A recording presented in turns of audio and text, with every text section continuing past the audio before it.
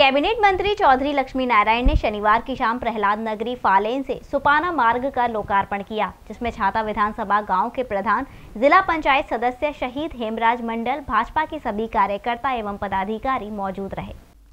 उत्तर प्रदेश की योगी सरकार धार्मिक स्थलों पर तो विकास की गंगा बहा रही है।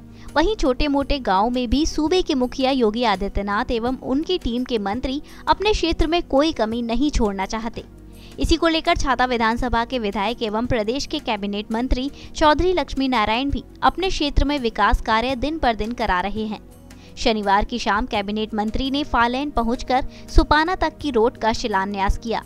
कार्यक्रम स्थल पर पहुँचते ही सुपाना नगरिया, पैगाम राजागढ़ी बड़चावली के लोगों ने कैबिनेट मंत्री का दुपट्टा स्वाफा पहनाकर भव्य स्वागत किया। वहीं कैबिनेट मंत्री एवं उनके प्रतिनिधि नरदेव चौधरी ने विधि विधान से पूजा अर्चना कराकर नारियल तोड़कर मार्ग का शुभारंभ किया।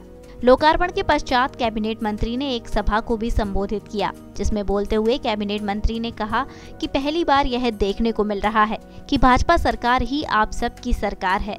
जिसमें सभी को प्राथमिकता दी जा रही है। सरकार द्वारा छाता विधानसभा क्षेत्र में एक लाख गाय का आशियाना बनवाया गया है। वहीं आवारा घूमती गायों को नगर पालिका क्षेत्र पंचायत में अस्थायी गौशाला बनवाकर उनके रहने की व्यवस्था बनवाई गई है। किसान के लिए प्रदेश सरकार ने खाद की अच्छी खरीद की है, जिसमें किसान को खासा लाभ मिला है। खाद की हो रही छुटपुट दिक्कत को लेकर सभी किसानों को खाद दिया जा रहा है। जल्द ही अन्य किसानों की समस्या का भी समाधान किया जाएगा। रास्ता था लगभग लगभग आठ सौ मीटर